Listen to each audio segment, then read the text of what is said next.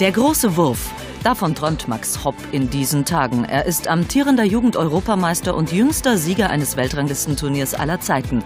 16 Jahre ist er alt und hat Nerven wie Drahtseile. Nichts bringt mich aus der Bahn. Wenn ich ein Ziel habe, dann möchte ich das erreichen und dann tue ich auch was dafür. Und ich bin verdammt nervenstark. Also mich bringt so leicht nichts aus der Ruhe, ob im Publikum ein paar Leute grölen. Als er im Herbst die Nummer 10 der Welt Terry Jenkins sowie den Weltmeister von 96 Steve Beaton besiegte, da staunten selbst die ganz Großen des Sports nicht schlecht. Max ist etwas Besonderes. Er ist ein richtig guter Spieler. Er hat zwei Weltklasse-Leute in einem Turnier geschlagen. Der ist wirklich gut. Hier im Kinderzimmer hat alles begonnen. Da war Max zwölf und warf stundenlang Darts. Mit 13 dann schon sein erster größerer Erfolg bei den Junioren. Mittlerweile spielt er Turniere in ganz Europa.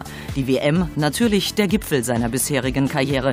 Dafür hat er sein tägliches Trainingspensum gezielt erhöht. Und da muss man auch gucken, dass man schon fit ist, dass man einfach auch wirklich sagen kann, ich kann jetzt sechs bis sieben Stunden stehen, trainieren, dabei schwitzen, das ist egal ich kann das und dann fühlt man sich auch sicher auf der großen Bühne.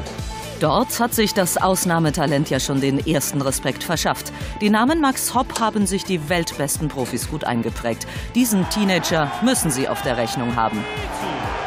Er wird sich bei der WM gut schlagen. Seine Gegner werden ein paar schlaflose Nächte haben. Die haben Angst.